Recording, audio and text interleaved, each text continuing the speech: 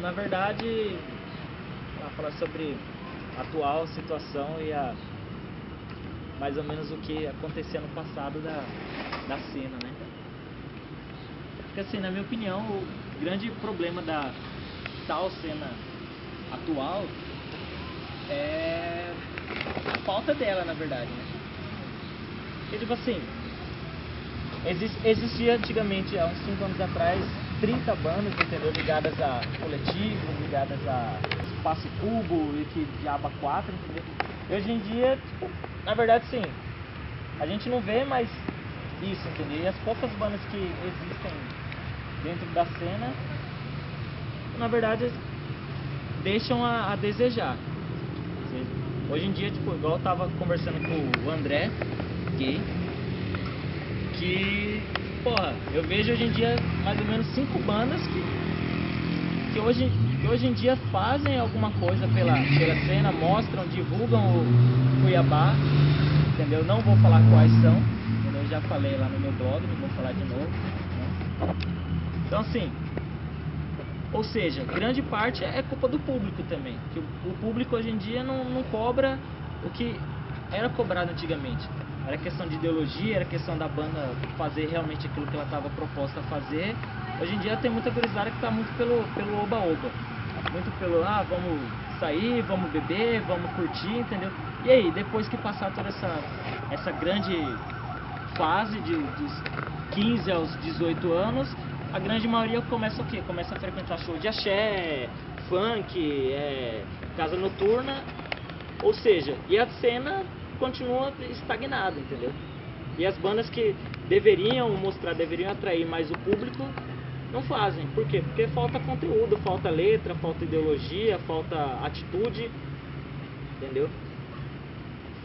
Então assim, é meio complicado hoje em dia você falar que Cuiabá tem uma cena. Na verdade, hoje, acho que na minha opinião, hoje em dia Cuiabá tem um pequeno movimento de pessoas que gostam de rock, que estão ali sobrevivendo na, na questão que frequentam o cachorrão, frequentam canelas, frequentam. Na verdade, sim. E quando tem algum outro show externo, outro show, elas o? Elas vão pelo pelo oba-oba. Passa aquele show, passa calango, passa grito rock, passa o Diaba 4 que for, você não vê mais, entendeu? Você não vê mais essa gurizada, você não vê essa galera. Mas assim, você vai em Viva Seu Bairro, você vai em Loto, você vai em Balada Tinha, essa gurizada tá lá. Mas dentro do, show de rock, a gurizada tá bebendo, tá falando, tá se dizendo rock and roll, tá se dizendo atitude, entendeu? E é por isso que eu, eu falo, não tenho vergonha de falar que hoje em dia Cuiabá não tem movimento, não tem cena underground, tem poucas pessoas que defendem isso. E desse jeito a gente vai continuar só decaindo, decaindo, decaindo. E quando você olha a cena aqui de São Paulo, cena de Goiânia, cena de Mato Grosso do Sul, tem aquela gurizada que sempre está ali assídua, frequentando, nascendo mais e mais bandas. E Cuiabá o que acontece? Cuiabá vira uma, uma passagem de, de bandas que estão ali pelo oba-oba.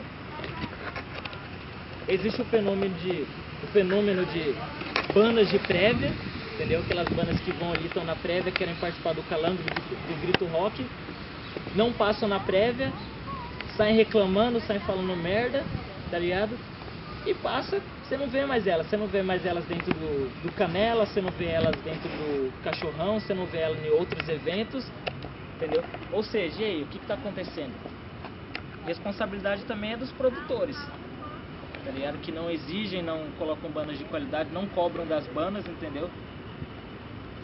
Essa atitude, essa responsabilidade de estar tá ali em cima do palco, descer do palco e estar tá continuando se mantendo como bandas alternativas, bandas undergrounds. E isso que acontece. A atual cena é isso, parece que não vai mudar, tão cedo não vai mudar e vai continuar essa coisa de cena, cena, cena, cena, cena pro resto da vida. Meio preocupante isso.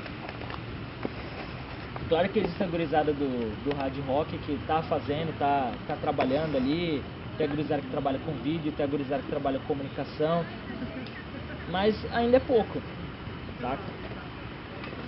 ainda é pouco para poder fazer, entendeu? Tem a gurizada, tem o próprio Fabinho que organiza, que tá rolando o evento massa aqui, gurizada tá se encontrando, tá todo mundo de boa, todo mundo revendo velhos amigos, gurizada que você, às vezes você chega, chega aqui e vê, porra, faz tempo que eu não vejo esse cara, entendeu?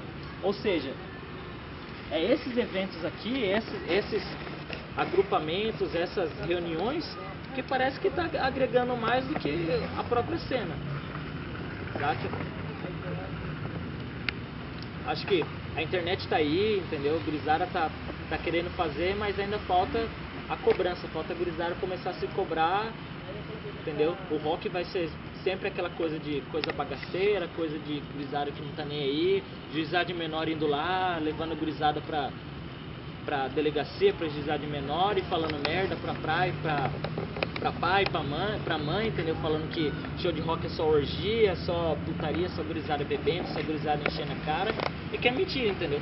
Se eu, quando eu, se eu tivesse um filho, entendeu? Eu preferia muito mais que ele tivesse num show de rock, entendeu? Embora seja poucos, do que tá dentro de um baile funk, tá ligado? Ou numa micareta, ou num, num outro show de Viva Seu Bairro, por quê?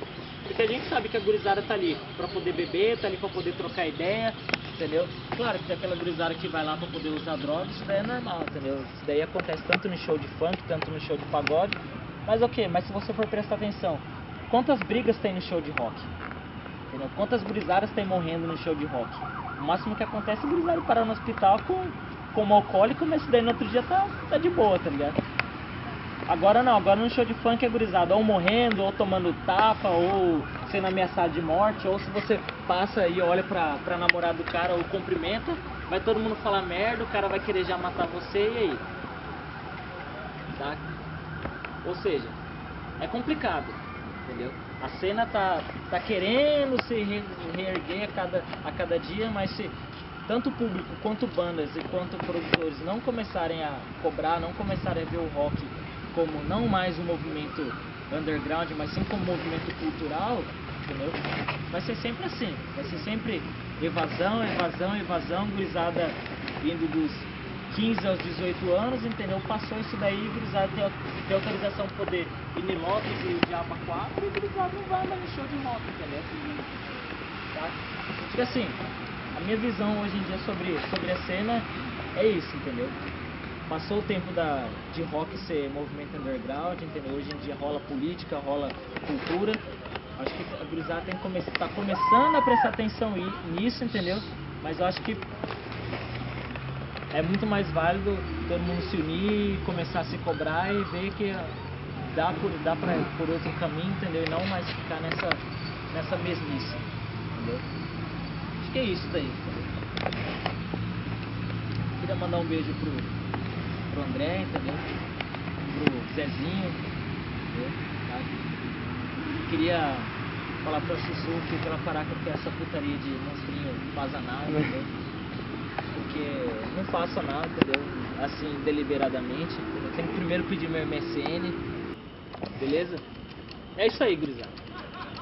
Sei que eu falo muita merda lá no blog, lá todo mundo me odeia porque eu, eu falo muita merda, mas eu falo merda e foda-se, acabou, o blog é meu e foda-se, entendeu? Falo merda mesmo, entendeu? E é isso aí. Sei. Acho que eu já falei demais já, né? É isso aí não, mas eu já falei demais, entendeu? Eu falo muita merda. Vai ter gente, muita gente vai ficar revoltada comigo, entendeu? Tá? E é isso aí, queria mandar um beijo pro, pro Hélio do Vanguard também.